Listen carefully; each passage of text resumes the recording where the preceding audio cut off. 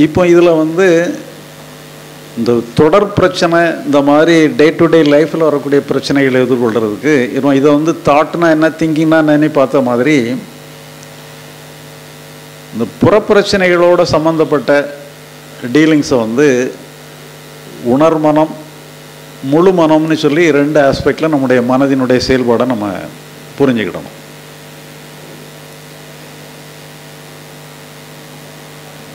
உணர்மனங்கிறது நம்முடைய conscious mind முழு மனங்கிறது டோட்டல் மைண்டு இந்த டோட்டல் மைண்டுங்கிறது என்னன்னு சொன்னால் நம்ம மனசை வந்து எப்பவுமே நாலாக பிரிப்பாங்க. மனம் புத்தி சித்தம் அகங்காரம்னு சொல்லி நாலாக பிரிப்பாங்க. அந்த மனம் புத்தி சித்தம் அகங்காரங்கிற நாலு பகுதியில் முதல் பகுதியாக வரக்கூடிய மனசுக்கு பேர் தான் உணர்மனம்னு சொல்லிக்கலாம் கான்சியஸ் மைண்டுன்னு சொல்லிக்கலாம். இந்த உணர்மனதையும் சேர்த்து மொத்தமாக மனம் புத்தி சித்த அகங்காரம் எல்லாம் நாலும் சேர்ந்த டோட்டாலிட்டிக்கு பேர் தான் முழு மனம் மொத்த மனம் டோட்டல் மைண்டுன்னு சொல்கிறோம் இந்த கான்சியஸ் மைண்ட்னா என்ன டோட்டல் மைண்டுனா என்னங்கிறத பற்றிய ஒரு ஐடியா உங்களுக்கு கிடச்சிட்டுன்னு சொன்னால் அதோடு உங்களுக்கு நீங்கள் வாழ்க்கையில் உள்ள எல்லா பிரச்சனைக்கும் நீங்கள் மங்களம் பாடிடலாம். எல்லா பிரச்சனையும் சால்வ் ஆகிடும் பிரச்சனைங்கிறது உங்களோட வாழ்க்கையிலே இருக்காது. இப்போ உண்மையிலேயே இந்த கான்சியஸ் மைண்டுனா என்ன? டோட்டல் மைண்ட்னா என்ன? இப்போ உதாரணமாக நீங்கள் வந்து ஒரு ஒரு இருட்டுக்குள்ளே போகிறீங்க பிரயாணம் பண்ணுறீங்க தனியாக போகிறீங்க ஒரே புதர்களாக இருக்குது மேடு பள்ளமாக இருக்குது குண்டும் குழியுமாக இருக்குது வெளிச்சம் தெரில இருட்டு. நீங்கள் தடவிக்கிட்டே போகிறீங்க அப்போ உங்கள் மனசு என்ன சொல்லுன்னு சொன்னால் எதிரையாவது இடறிடுவோமோ எதையாவது மோதிக்கிடுவோமோன்னு சொல்லி ஒரு பயந்துக்கிட்டே போயிட்டே இருக்கீங்க. இது இடறிடுமோ அது மோதிடுவோமோன்னு சொல்லி தடவிக்கிட்டே நீங்கள் தடவி தடவி போயிட்டு இருக்கீங்க. திடீர்னு சொல்லி எதிர்பாராமல் கீழே விழுந்துடுறீங்க. நீங்கள் எழும்புறதுக்கு வந்து இப்படி எழும்பணுமா அப்படி எழும்பணுமான்னுட்டுலாம் யோசிக்கிறது இல்லை விழுந்த உடனே உங்களை அறியாமலே எழும்பிடுவீங்க எழும்புன பிறகு தான் எழும்புனதே தெரியும்.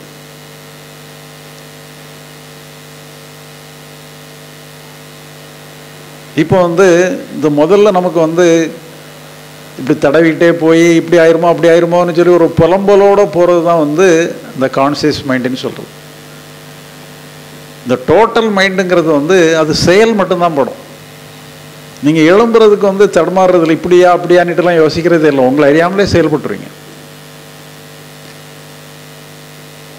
நீங்கள் புலம்புறீங்களா செயல்படுறீங்களாங்கிறது தான் வித்தியாசம் அவ்வளோதான் புலம்புனீங்கன்னு சொன்னால் கான்சியஸ் மைண்டு செயல்பட்டீங்கன்னா டோட்டல் மைண்டு அது செயலில் மட்டும்தான் போடும். அது வந்து மின்னல் மாதிரி வந்துட்டு போயிட்டே இருக்கும். அது எப்போவுமே நிரந்தரமாக இருக்காது.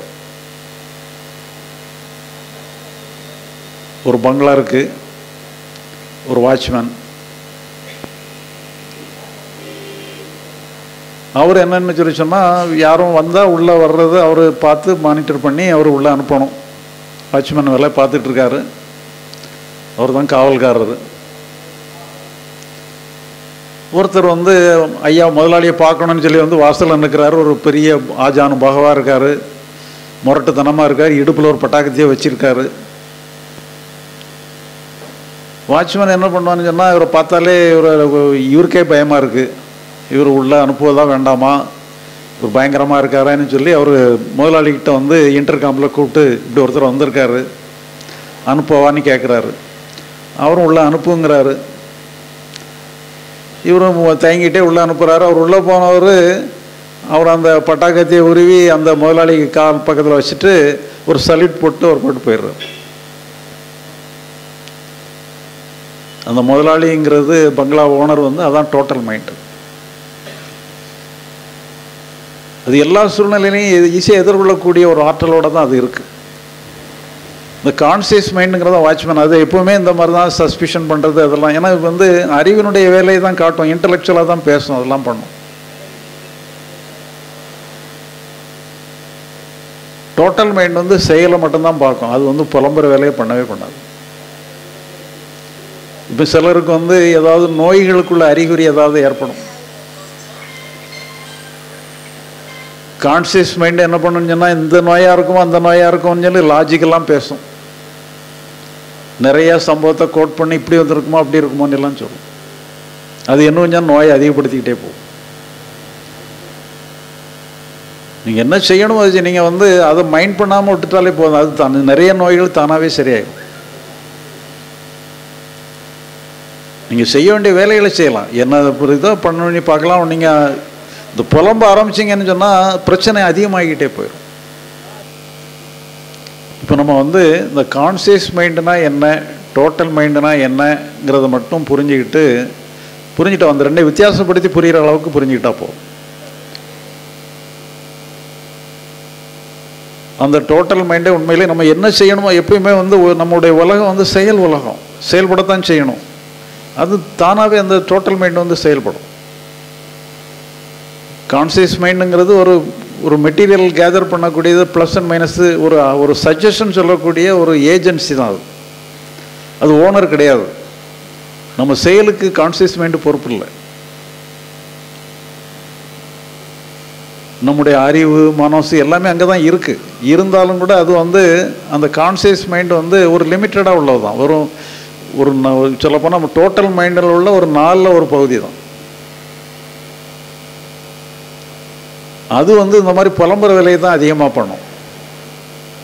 அதனால் நம்ம டோட்டல் மைண்ட் வந்து அது கையில் நம்ம பொறுப்பு கொடுத்துட வேண்டியதுதான். டோட்டல் மைண்ட்டை பொறுப்பு கொடுத்துட்டோம்னு சொல்லி சொன்னால் டோட்டல் மைண்டே எல்லா ப்ராப்ளத்தையும் சால்வ் பண்ணிடும். இப்போ நாங்கள் வந்து எங்களுடைய இது கிராமம். நான் சின்ன வயசாக இருக்கும்போதெல்லாம் ஒரு கிராமத்தில் இருந்தேன். அப்போ நான் வந்து பள்ளிக்கூடம் வந்து எங்கள் வீட்டில் இருந்து ஒரு ஒரு ஃபர்லாங் தூரத்தில் இருக்கும். ஒரு ஃபர்லாங்கில் ஒன்று ரெண்டு ஃபர்லாங் இருக்கும். இப்போல்லாம் ஃபர்லாங்கன்னா தெரியாதுன்னு நினைக்கிறேன். அதனால் மீட்டர் கணக்கு சொல்லணும். ஒரு ஐநூறு மீட்டர்னு வச்சுக்கலாம். அப்போ நடந்து தான் போனோம் அதில். எங்கள் வீடு வந்து ஒரு காம்பவுண்டோடு இருக்கும். ஒரு பெரிய கிட்டத்தட்ட ஒரு ஒன்றரை ஏக்கர் ரெண்டு ஏக்கர் பெரிய தோட்டம் மாதிரி இருக்கும். அந்த தோட்டத்துக்கு மத்தியில் தான் வீடு. எங்கள் வீட்டில் வந்து ஒரு வீட்டிலே வளர்க்குற மாதிரி ஒரு நாய் அந்த தோட்டத்துக்குள்ளே தான் கிடக்கும்.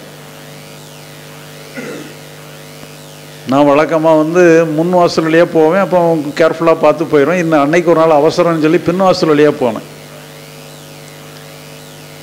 இந்த நாய் என் பின்னால் வந்துட்டு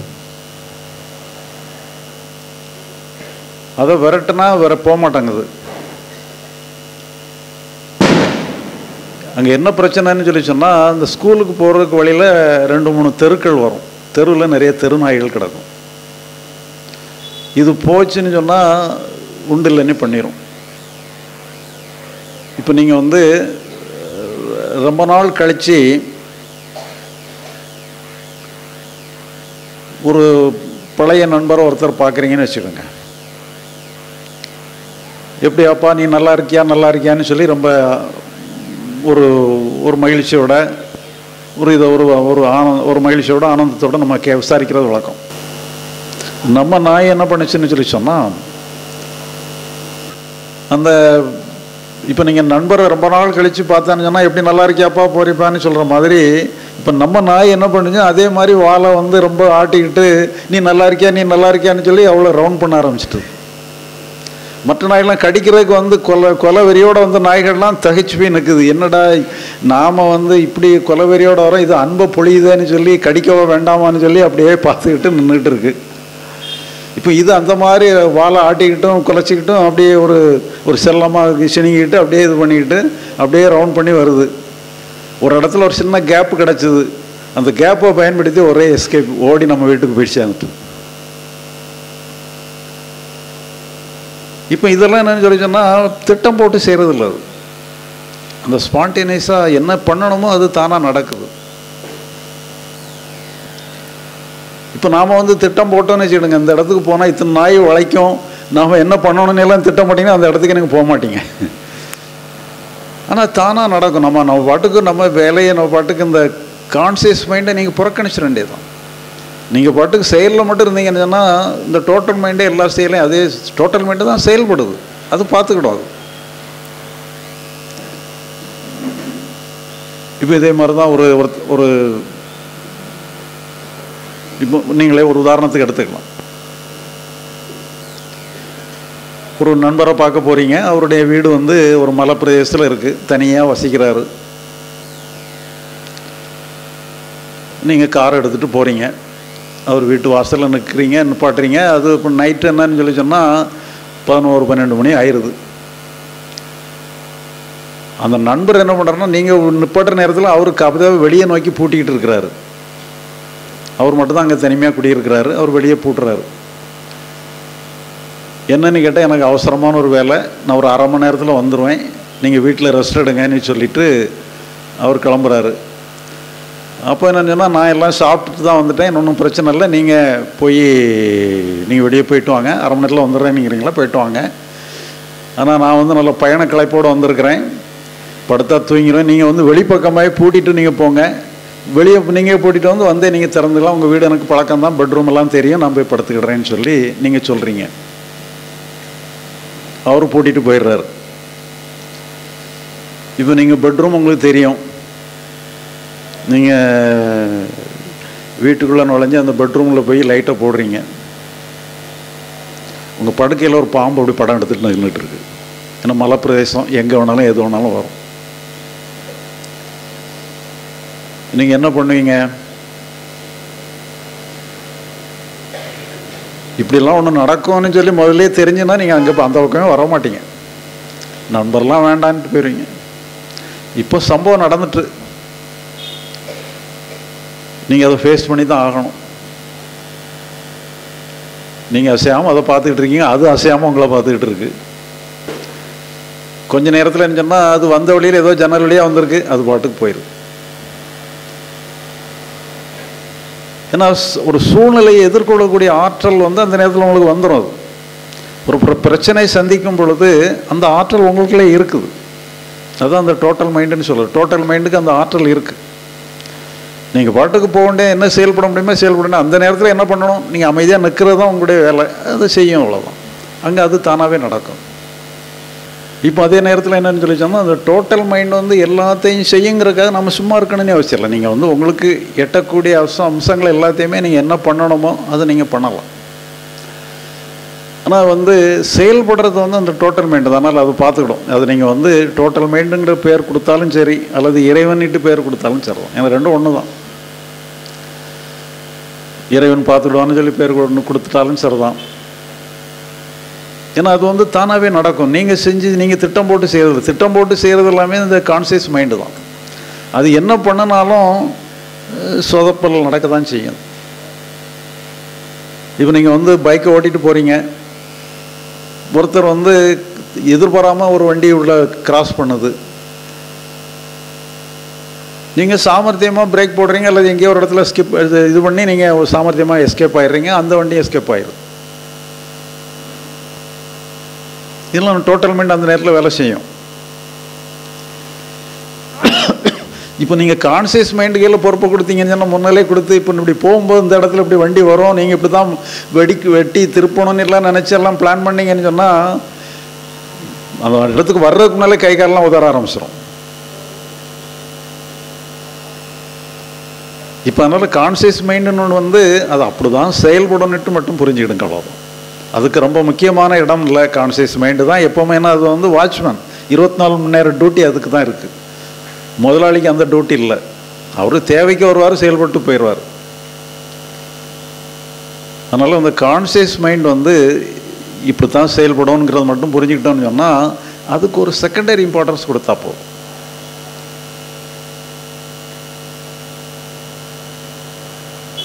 இப்போ நமக்கு வந்து இரவில் ஒரு கனவு காண்றோம்.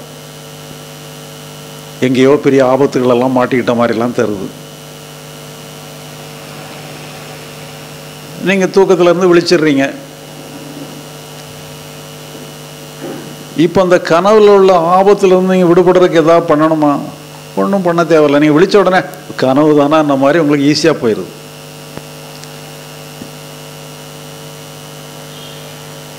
இப்போ கனவுங்கிறது என்னன்னு சொல்லி சொன்னால் நம்ம தூக்கத்தில் ஏற்படக்கூடிய நினைவுக்கு பேர் தான் கனவு. அது ஒரு வகையான தாட்டு தான். அந்த தாட் வந்து வேக்கிங் ஹவர்ஸ் நம்ம விழிச்சிருக்கிற நேரத்தில் ஏற்படக்கூடியதான் கனவு நனவுன்னு சொல்கிறோம் இதுவும் ஒரு கனவு தான். அதே மாதிரி இந்த கான்சியஸ் மைண்டுங்கிறனுடைய செயல்பாடுமே ஒரு கனவாக தான் இருக்குது இதை நீங்கள் ஒரு கனவு அம்சம்னுட்டு புரிஞ்சுக்கிட்டா போதும். ஒரு இதுக்கு வந்து ஒரு லெஸ் இம்பார்ட்டன்ட் கொடுத்தா போதும். ஒரு குறைஞ்சபட்ச ஒரு அளவு இம்பார்ட்டன்ஸ் கொடுத்தா போதும். எல்லாமே நான் தானிட்டு நீங்கள் சுமந்தீங்கன்னு சொன்னால் சுமையெல்லாம் அழுத்தும். நீங்கள் டோட்டல் மைண்ட்கிட்ட கொடுத்துருங்க. உங்களுக்கு எட்டக்கூடியதை நீங்கள் செய்யுங்க. எட்டாத விஷயங்கள் எல்லாத்தையுமே நீங்கள் அங்கே கொடுத்துருங்க. எல்லாம் எதிர்காலத்தை பற்றிய அம்சங்கள் நிறைய இருக்குது நமக்கு. இது இப்படி ஆயிருமோ அது அப்படி ஆயிருமோன்னு சொல்லி இருக்குது உங்களுக்கு என்ன முடியுமோ அதை நீங்கள் செய்யுங்க. கான்சியஸ் மைண்டை உபயோகித்து செய்கிறதெல்லாம் செய்யுங்க. உங்களுக்கு ரீச் ஆகாத அம்சங்கள் எல்லாமே அந்த டோட்டல் மைண்டை கொடுத்துடுங்க. இறைவன்னிட்டு வச்சுட்டாலும் சரி டோட்டல் மைண்டுன்னு வச்சுட்டாலும் சொல்லலாம் என்ன செய்யணுமோ அது தானாகவே நடக்கும். அது தேவையான நேரத்தில் தேவையான செயல் வந்து நடக்கும் அது. இப்போ நாய்க்கு நம்ம கற்றுக் கொடுத்தோமா?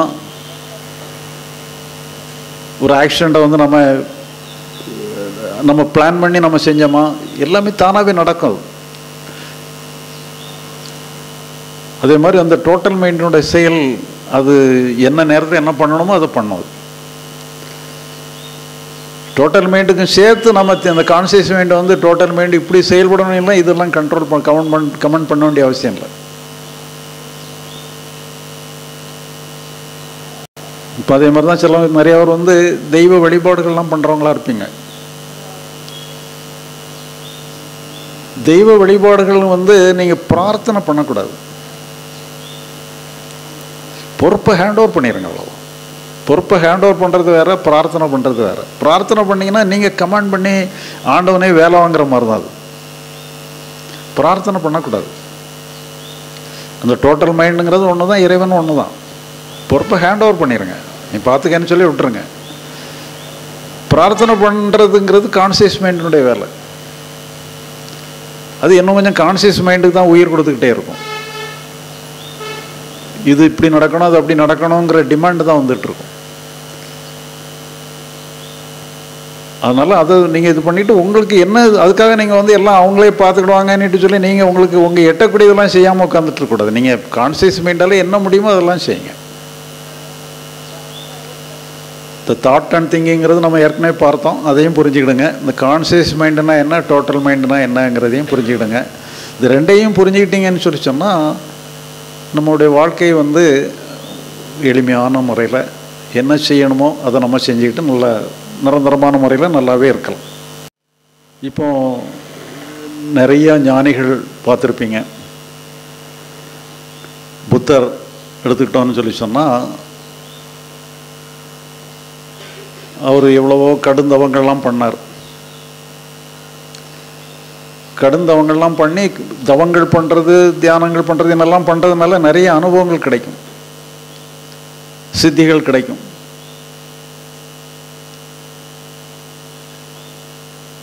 ஆனால் என்ன சொன்னால் அந்த ஞானம் கிடைக்காது. லிபரேஷன் கிடைக்காது.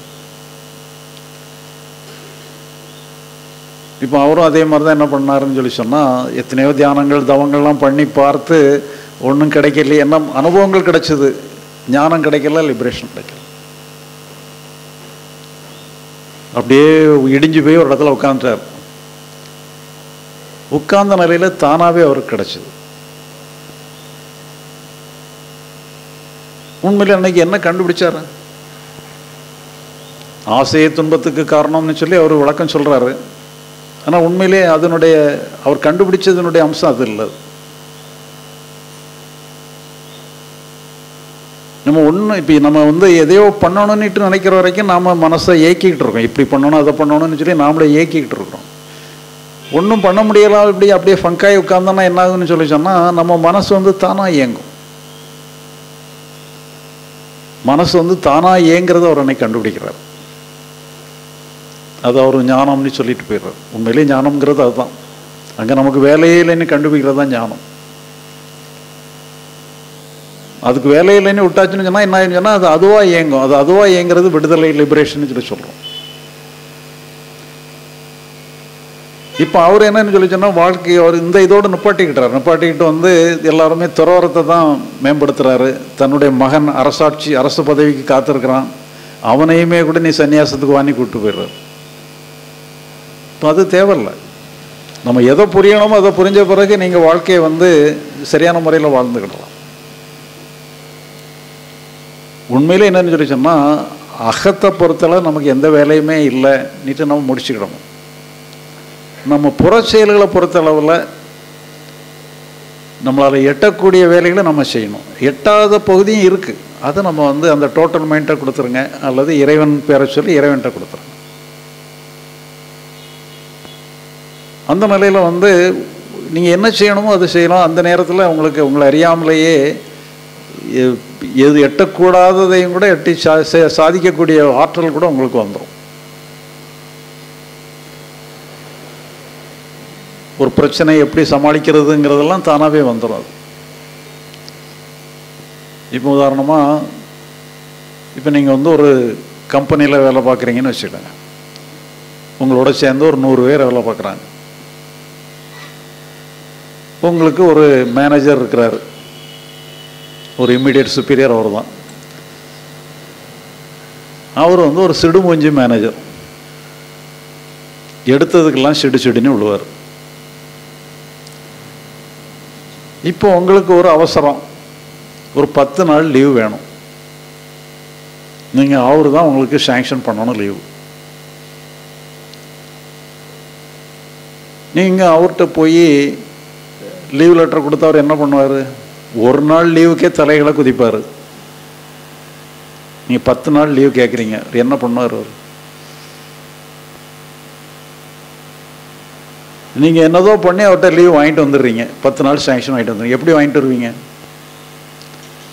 அவர் குதிக்க குதிக்க நீங்களும் பதிலுக்கு ஏதாவது ஒன்று பண்ண முடியுமா? அவர் அப்படிதான் குதிப்பாருன்னு சொல்லி விட்டுட்டு நீங்கள் அமைதியாக உட்காந்து அவர் பண்ணுறது உங்களுக்கு வலிக்கத்தான் செய்யும். அவர் உங்களை திட்டுறதுக்கும் போது உங்களுக்கு உங்கள்கிட்ட இருந்து அது புன்னகையாத்தான் வெளிப்படும் ஒழிய கோபம் வெளிப்படாது. அப்போ அங்கே வந்து என்னன்னா நீங்கள் செயலில் இருக்கிறீங்க. நீங்கள் செயல்படணுங்கிற இதில் இருக்கிறீங்க. அப்போ உங்களுடைய மன உணர்ச்சிகளுக்கு நீங்கள் முக்கியத்துவம் கொடுக்குறதே இல்லை. உங்களுடைய மன உணர்ச்சிகள்ங்கிறது தான் இந்த கான்சியஸ் மைண்டுங்கிறது அதுக்கு நீங்கள் முக்கியத்துவம் கொடுக்குறதே இல்லை. உங்களுக்கு செயல் தான் முக்கியம். லீவ் லெட்டர் லீவ் லெட்டருக்கு சேங்ஷன் வாங்கணும். அப்போ நீங்கள் வந்து உங்கள் டோட்டல் மைண்டே எங்கே செயல்படுது? அவர் கூட திட்டு அவருடைய சிடுமூஞ்சித்தனத்தை எல்லாத்தையுமே நீங்கள் ஏற்றுக்கிட்டு அவர்கிட்ட புன்முறுவலோடு இருந்து நீங்கள் காரியத்தை சாய்ச்சிட்டு வந்துடுறீங்க. இப்படி வந்து என்னன்னு சொல்லி சொன்னால் அந்த டோட்டல் மைண்டே எல்லாத்தையும் பார்த்துக்கணுங்கிற ஒரு முடிவுக்கு வந்துட்டீங்கன்னு சொல்லி சொன்னால் எல்லாமே இப்போ புத்தருடைய லைவ் இதெல்லாம் க கருத்துக்கள் எல்லாம் வந்து இந்த அகத்தோட சமம் முடிஞ்சு போயிடும் நம்ம தாட் அண்ட் திங்கிங்னு பார்த்த மாதிரி ஆன்மீகம்ங்கிற அம்சத்தில் அகத்தை மட்டும்தான் எடுத்திருக்கிறாங்க. புறத்தனை எடுக்கவே இல்லை அவங்க. புற உலகங்கிறது வேறங்கிற மாதிரி எடுத்துக்கிட்டாங்க. நீங்கள் புற உலகத்தை வந்து முடிஞ்ச அளவில் முடிச்சுட்டு நீங்கள் பிரம்மச்சாரியம் கிரகஸ்தம் அப்படி வனப்பிரஸ்தம் சன்னியாசம்னு சொல்லி அந்த வழிப்படையில் வந்து கிடையாது சன்னியாசம் வந்துருங்கிற மாதிரி அப்படி தான் வழிகாட்டிட்டாங்க. உண்மையில் என்னன்னு சொல்லி சொன்னால் நீங்கள் வந்து அந்த டோட்டல் மைண்டுகளில் பொறுப்பு கொடுத்துட்டீங்கன்னு சொல்லி சொன்னால் நீங்கள் எங்கே வேணாலும் இருக்கலாம். நீங்கள் வந்து இருக்கிற இடமே உங்களுக்கு அந்த முக்தி நிலை தான். முக்தி நிலைங்கிறது நம்முடைய இயற்கையான நிலை. நம்ம அடைய வேண்டிய நிலையே கிடையாது. நம்ம அடையிறதுக்கு அங்கே ஒன்றுமே இல்லைன்னு புரிஞ்சுக்கிட்டீங்கன்னு சொன்னால் உங்கள் மனசு இயற்கையாக இயங்கும். அது இயற்கையாக இயங்குறதே கரெக்டாக இயங்குறது